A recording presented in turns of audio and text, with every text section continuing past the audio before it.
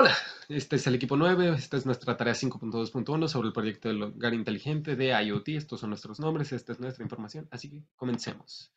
Antecedentes, este proyecto se basa en la necesidad de automatizar y organizar la rutina de la mañana de una persona en puntos en los que médicamente decimos que están muy cansados si es que no son personas, la madrugada en la noche. Eh, nuestra solución es usar un sensor para medir el horario promedio en el que una persona sale de su cuarto. Eh, por las mañanas esto moverá motores para las cortinas y encenderá una cafetera. Y así con redes neuronales y procesos se va a aprender su rutina y para cuando la persona vaya a su casa, todo esto empiece a crearse y la rutina de la persona sea más eficiente. Bueno, pues nuestro alcance es, pues, en base a nuestro objetivo, que ayudar a la gente en la mañana cuando estén cansadas. Este, para el 2 de diciembre se espera entregar nuestro prototipo funcional. No se espera que el presupuesto que nosotros tenemos eh, sea suficiente para instalar en varios hogares, ya que pues solamente es un prototipo y vamos a mostrar la funcionalidad más que eh, generar un producto comercial de, en, su, en, su, en su momento.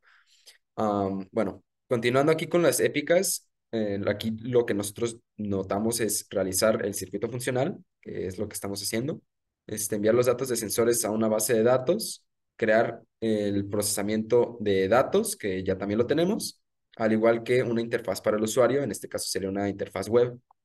Eh, bueno, siguiendo con la presentación, aquí el Product Owner sería Carlos Arellano, él es el que ha estado eh, llevando a cabo la mayor parte de lidiar con las tareas que cada integrante lo está haciendo y también es el que se encarga de las responsabilidades mismas del proyecto.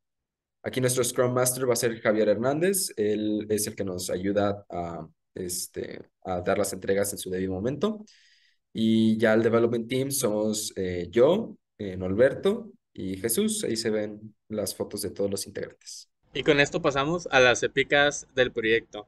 La primera épica sería realizar el circuito funcional, que se dividiría en las historias de usuario. Yo como usuario no debería anotar el circuito para que no sea una molestia. Y yo como desarrollador no debería ser llamado a tener que realizar alguna reparación para poder seguir trabajando en otros proyectos.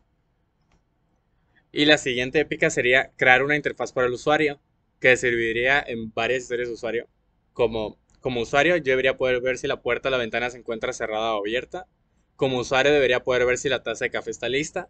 Como usuario debería poder ver las horas de sueño que he tenido en los últimos días. Como usuario debería poder ver a qué hora ha salido de casa en los últimos días. Y como usuario debería poder ver la temperatura actual. Aquí está una de nuestras interfaces. Este, por ejemplo, tenemos a, nuestra derecha la landing page en la cual podemos ver pues un inicio, quiénes somos. No incluimos todo porque no cabía la presentación, pero más abajo tenemos una sección de el el proceso que lleva nuestra página, este, cuáles son los pasos que seguimos y además una foto de todos los integrantes de nuestro equipo junto con sus responsabilidades o cargos de cada quien. También ya tenemos abajo a la izquierda tenemos la, la página de login para que ellos puedan dar, este, registrarse con su cuenta o iniciar sesión para que puedan ver su propio dashboard. En cuanto al dashboard, es el que tenemos arriba a la izquierda, en la cual podemos ver, por ejemplo, lo de las salidas de casa, este, cuáles son las horas en las que más ha salido o entrado, este, los sensores que tiene. Este, por ejemplo, el consumo semanal, de cuánto ha tomado en la semana, de cuántas veces se ha este, encendido la cafetera y este, y hecho el café. Además, cuántas veces se ha abierto la puerta. Las horas de sueño aún está terminada, pero ahí mostraremos cuántas horas de sueño ha dormido en el día anterior y durante la semana. Y además el tamaño del vaso de café que normalmente la persona utiliza este, en su vida normal. Criterios de aceptación, historias de usuarios. En esta parte tenemos más o menos lo que queremos que pase en cada uno de los instantes de la intervención del proyecto. Por ejemplo, que al momento de iniciar sesión al usuario se le aparezca la información personal del mismo.